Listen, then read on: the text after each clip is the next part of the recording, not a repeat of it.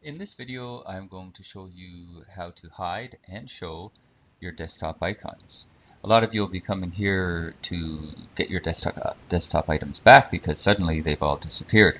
Uh, that may just be as simple as right-clicking on your desktop, going to View, and making sure that Show Desktop Icons is checked off the way it is here. Of course, if I uncheck it, everything disappears, right?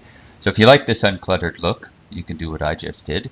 If you find yourself faced with an uncluttered look that you didn't ask for, uh, once again, right click, view, show desktop icons. It's that simple, folks. And of course, there's a few other options in there, right? You can choose to have large icons. Whoa, those are big, right? Uh, medium is the default. If you have a lot of icons on your desktop, you might want to opt for the smaller versions, right? Switch that back here. You can sort by name, size, item type, or the date modified. Uh, if you're looking for icons that you're expecting to see but they're not there, um, try hitting refresh. Right? Um, it may just be that the desktop hasn't refreshed and hitting that will force Windows to check again and see that what you're expecting to see is actually there. Right?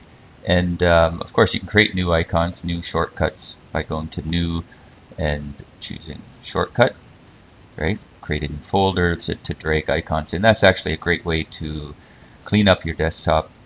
Go New folder, right? Type in, for example, uh, more icons, right? And then if you don't want a whole bunch of stuff that you rarely use cluttering your desktop, just drag them in there and then they're quickly accessible if you need them, but otherwise they're only taking up the space of a single icon.